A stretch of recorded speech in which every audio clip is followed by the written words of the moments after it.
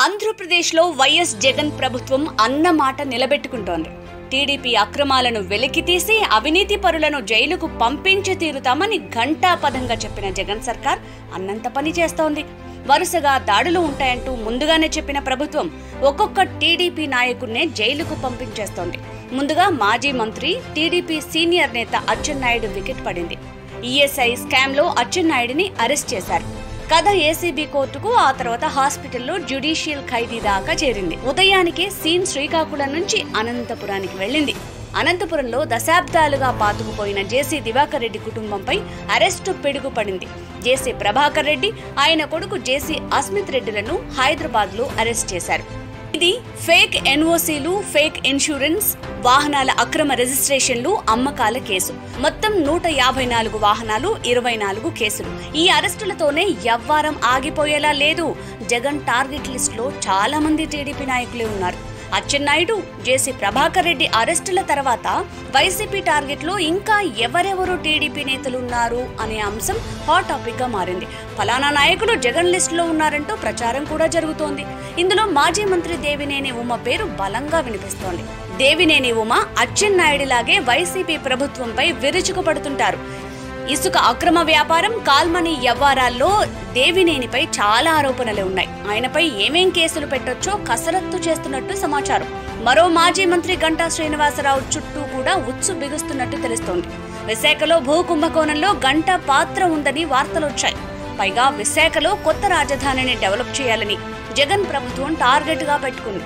ఈ పని సజావుగా సాగాలంటే గంటాను అరెస్ట్ చేసి అదుపులో పెట్టుకోవాలట. అయితే కేసుల భయంతో వైసీపీలోకి వెళ్ళడానికి గంటా ఎప్పుడూ రెడీగా ఉన్నారు. టీడీపీకి ఇప్పటికే దూరమయ్యారు. కానీ విశాఖ జిల్లా వైసీపీ నేతలు గంటా రాకను వ్యతిరేకిస్తున్నారు. సీనియర్ నాయకుడు మాజీ మంత్రి యనమల రామకృష్ణుడి పేరు కూడా వినిపిస్తోంది. పన్ను మార్పిడి కోసం సింగపూర్లో ఆపరేషన్ చేయించుకున్నారు కదా ఆయనే ఈయన. శాసన మండలిలో వైసీపీకి కొరకరాని కొయ్య. చంద్రబాబు వ్యవహారాల గురించి బాగా తెలిసిన మనిషి. అందుకే యనమలను ఫుల్ ఫ్లెడ్జ్డ్గా బుక్ చేసుకోవటానికి కసరత్తు జరుగుతోందట. మాజీ మంత్రి నారాయణ పేరు కూడా హిట్ లిస్ట్లో ఉంది. అమరావతి రాజధాని భూముల వ్యవహారం అంతా ఈయన కనుసన్నల్లోనే జరిగింది. భూముల కొనుగోళ్ళ వ్యవహారానికి నారాయణే సూత్రధారి. ఈ కేసును జగన్ సర్కార్ ఆల్రెడీ సిబిఐకి సిఫారసు చేసింది. మాజీ మంత్రి పత్తిపాటి పేరు కూడా బలంగానే వినిపిస్తోంది. కేవలం పద్దెనిమిది మంది రైతుల పేర్లతో వేల టన్నుల కొద్ది పత్తి కొనుగోళ్ళు రాజధాని భూముల కొనుగోళ్ళు సీసీఐ స్కామ్లో విచారణ అమరావతి ప్రాంత అసైన్ భూముల కేసులు ఉన్నాయి మరో ఇద్దరు మాజీ మంత్రులు పరిటాల సునీత అఖిల ప్రియలు కూడా టార్గెట్ లిస్ట్లో ఉన్నారని ప్రచారం జరుగుతోంది. చంద్రన్న సంక్రాంతి కానుక రంజాన్ తోఫా పథకాల్లో పరిటాల సునీత అక్రమాలకు పాల్పడ్డారని ఆరోపణలున్నాయి. హెరిటేజ్ మజ్జిగ నెయ్యి కొనుగోళ్ళలోనూ చేతివాటం చూపించారని అంటారు.